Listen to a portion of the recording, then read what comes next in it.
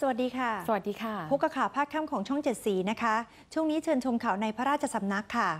สมเด็จพระเทพรัตนราชสุดาสยามบรมราชกุมารี ทอดพระเนตร พิพิธภัณฑ์ซากแผ่นดินไหวและทรงเยี่ยมโรงเรียนประถมศึกษาเหมียนหยาง เซียนเฟิงลู่สิรินทรที่เมืองเหมียนหยาง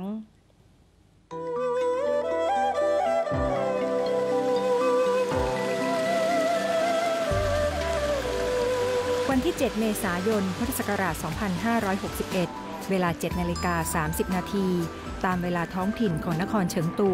สาธารณรัฐประชาชนจีน ซึ่งเร็วกว่าเวลาที่ประเทศไทยหนึ่งชั่วโมง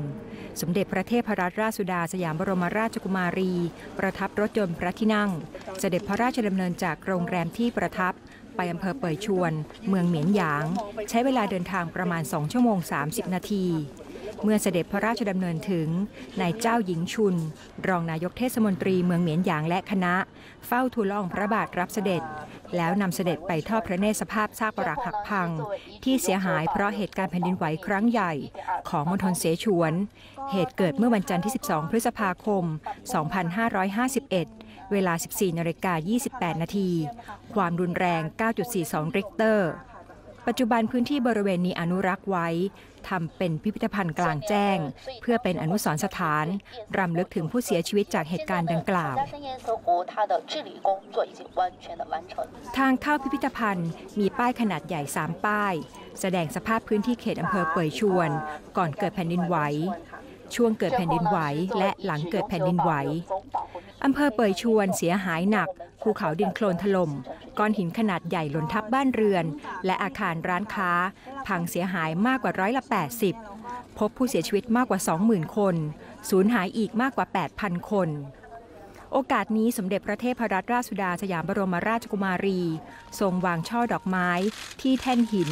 ด้านหน้าสุสานของผู้เสียชีวิต จากเหตุการณ์แผ่นดินไหว ซึ่งสร้างใกล้กองหินที่เคลื่อนจากภูเขา ลงมาทับโรงเรียน มีเด็กนักเรียนเสียชีวิตเกือบทั้งหมดประมาณ 200 คน แล้วเสด็จยืนสงบนิ่งไว้อาลัย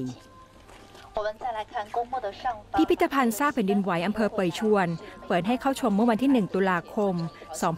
2554 ปัจจุบันยังมีซากปรักหักพัง และอาคารบางแห่งที่ใช้การค้ำยัน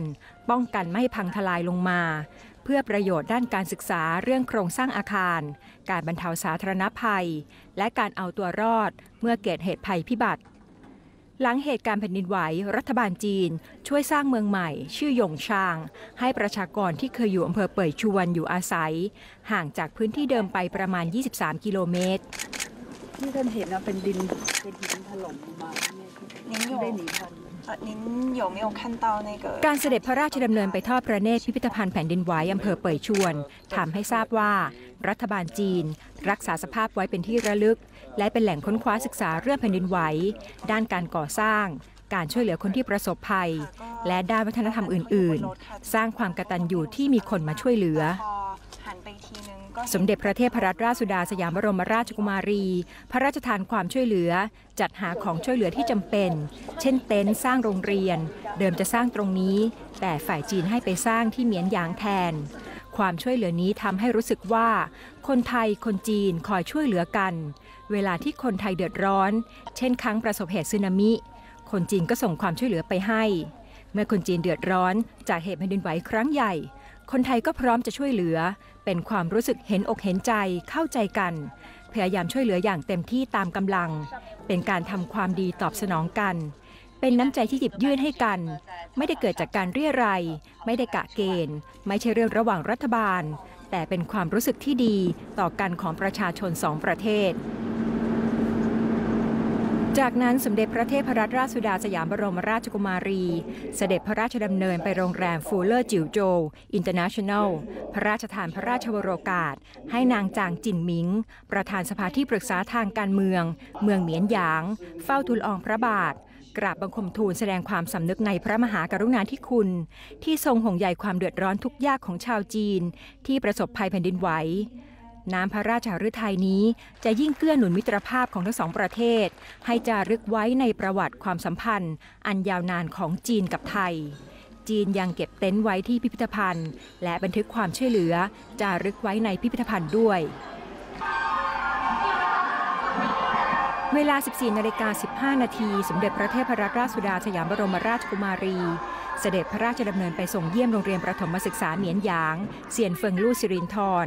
นายเจ้าหญิงชุน รองนายกเทศมนตรีเมืองเหมียนหยาง และนายเฉิงหยงเต๋อผู้อำนวยการโรงเรียนประถมศึกษาเหมียนหยางเซียนเฟิงลู่สิรินทรพร้อมได้ครูและนักเรียน เฝ้าทูลละอองพระบาทรับเสด็จ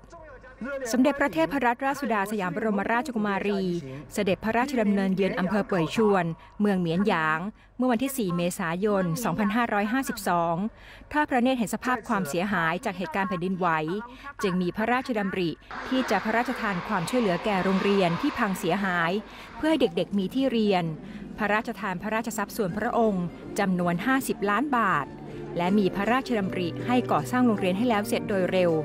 เพื่อให้นักเรียนที่เดือดร้อนมีที่เรียนเร็วที่สุด การก่อสร้างแล้วเสร็จสมบูรณ์ในเวลาเพียง 6 เดือน ด้วยความร่วมมือของทั้งสองฝ่าย ฝ่ายไทยและฝ่ายจีน มีผู้บริจาคทุนทรัพย์ และอุปกรณ์ต่างๆ โดยเสด็จพระราชกุศลเป็นจำนวนมาก รัฐบาลเมืองเหมียนหยางและคณะครูทราบซึ้งในพระมหากรุณาธิคุณ จึงขอพระราชทานพระราชานุญาต ตั้งชื่อโรงเรียนว่า โรงเรียนปฐมศึกษาเหมียนหยาง เซียนเฟิงลู่สิรินทร โอกาสนี้สมเด็จพระเทพรัตนราชสุดาสยามบรมราชกุมารี มีพระราชดำรัส 你们，呃，这次来看到你们的校园更漂亮，呃，孩子们进步更大了，我非常高兴。孔子说：“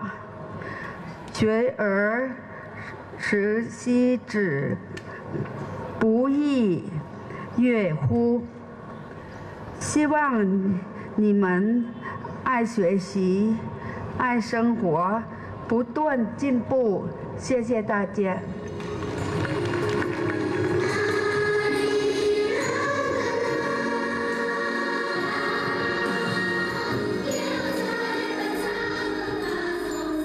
จากนั้นทอดพระเนตรการแสดงของคณะครูและนักเรียน โรงเรียนประถมศึกษาเหมียนหยางเซียนเฟิงลู่สิรินทรและโรงเรียนจิตรดา สมเด็จพระเทพรัตนราชสุดาสยามบรมราชกุมารี เสด็จพระราชดำเนินไปทรงเป็นประธาน ในพิธีเปิดโรงเรียนอย่างเป็นทางการ เมื่อวันที่ 8 เมษายน 2553 และเสด็จพระราชดำเนินไปทรงเยี่ยมโรงเรียนก่อนหน้านี้แล้วครั้งหนึ่งเมื่อวันที่ 9 เมษายน 2554 สถานกงศูนย์ใหญ่ณนครเฉิงตู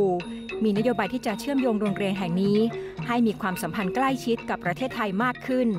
มีกิจกรรมส่งเสริมความร่วมมือระหว่างกัน